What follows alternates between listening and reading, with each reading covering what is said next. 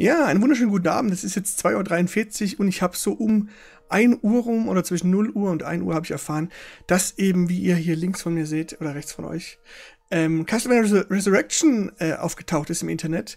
Eine spielbare Demo-Disc von 1999 wurde erworben und nun veröffentlicht.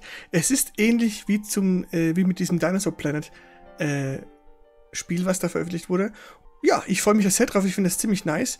Und lass mich kurz ein bisschen was ablesen. Ähm, genau, wie gesagt, es stammte diese Demo von 1999. Und ich wollte gleichzeitig ankündigen, dass heute Abend, also am 29.04., ähm, ein Stream stattfinden wird um 21.30 Uhr mit mir und äh, diesem Prototypen. Ich habe ihn hier bei mir zum Laufen gekriegt. Zwar über Umwege, aber es geht. Aber es ist auch erstaunlich. Wir werden dann noch eine andere, eine andere Art besprechen, die, wie man das Spiel zum Laufen kriegen kann. Eine sehr schöne und auch äh, wirklich äh, realitätsnahe.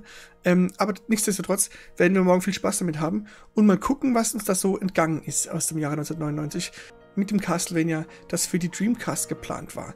Denn es handelt sich dabei immer um ein Stück Videospielgeschichte, welches verloren gegangen ist und jetzt wieder aufgetaucht ist und das jetzt für alle frei verfügbar ist. Das ist immer eine schöne Sache, wie ich finde.